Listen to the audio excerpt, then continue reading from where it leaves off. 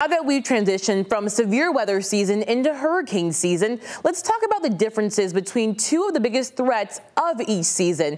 As most people know, tornadoes and hurricanes are not the same. But let's dive into the meteorology about why they're different. Tornadoes are small scale circulations that form over land. These twisters thrive in high wind shear environments. Wind shear is a change in wind direction with height or a change in wind speed with height. This gives the tornado its spin. According to the National Weather Service, on average, tornadoes only last 5 to 10 minutes, which of course is a very short amount of time. Let's compare that to hurricanes.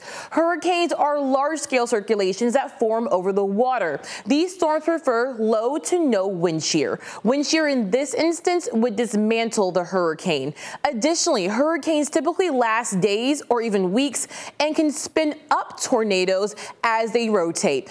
As we dive deeper into hurricane season, you may have more questions about hurricanes, safety plans, or how to receive alerts. We have a hurricane guide on our website just for you. Head to 13newsnow.com and click on our Hurricane Center tab to access the info. For 13 News Now, meteorologist Taylor Stephenson.